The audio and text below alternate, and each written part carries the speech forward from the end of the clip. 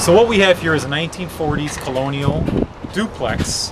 Our customer here has chosen to replace her windows due to lack of efficiency and the easy maintenance of cleaning them.